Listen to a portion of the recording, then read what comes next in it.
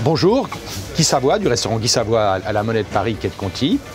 Voilà, je vous présente aujourd'hui l'un des plats euh, phares du restaurant que l'on pourra déguster à Taste of Paris. Alors comme un plaisir ne doit jamais arriver seul, cette soupe d'artichaut à la truffe noire et parmesan est accompagnée d'une brioche feuilletée aux champignons qui sera elle-même tartinée d'un beurre de truffe.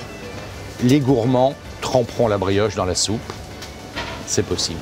Je vous donne rendez-vous à Test of Paris du 18 au 21 mai. Vous pourrez y déguster soupe d'artichaut à la truffe, la brioche feuilletée tartinée de beurre de truffe et je crois qu'il y a quelques autres plats.